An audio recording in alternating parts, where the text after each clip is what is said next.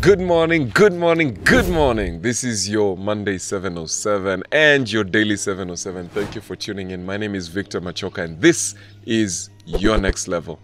We're talking about careers. How how do you choose careers? And uh, I had the privilege of speaking at a certain place and to young people trying to figure out what do they want to do, what do they want to become, where do they want to go when they grow up. And this is the first thing that I I want to tell you we have a challenge, especially in Africa, with our education system because our education system is so generic. And unfortunately, we allow young people to go through basic and general training and education, sometimes all the way till 18, 20, 21, 22. You find that the education system is just the same for everybody. It doesn't give them an opportunity to specialize until they are sometimes past campus. And this is unfortunate because when a child is younger, between 8 and 14, 15, that's when their habits and their character is being formed. Now, when you look at most of the great people, most of them started when they were young, before they were teenagers. I mean, the Williams sisters, 8 9, Tiger Woods, 8 9, uh, Michael Phelps, the most decorated swimmer, you're looking at 12, 11. So, most of these guys who are actually great at, or phenomenal at what they do, they start preteen but most Africans figure out what they want to do when they are 18, 19, 20, sometimes even 24. So here's my advice to you. If you're a parent, if you're a, if you're a parent of a teenager or a young person, get them to start early. Let them interact with the things that they like. Let them get an opportunity to specialize on some of the stuff that they like very early on.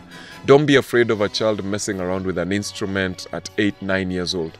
Don't be afraid of a child messing around with farming or even money saving when they are 7 years old, 8 years old, 10 years old. By the time you're 12 years old, 13, 14, you should start figuring out what is it that I love? What do I really want to do? And don't just focus on academia. Double in the arts, double in farming, double in money markets and stuff like that. Get interested in different kinds of things. Because when you're younger, your character, your mind, your muscles, your behavior begin to form and coalesce around the thing that you love. Do you understand? So, for example, if it's an instrument, you start playing that instrument when you're a child, then what happens is, as a child, your fingers and your, your brain, your hand eye coordination begins to form around the gift that you have or around the thing that you love doing.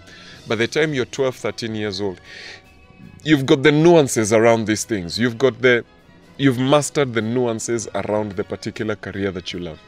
Okay, so start early, start very early, as early as you can. Think outside academia.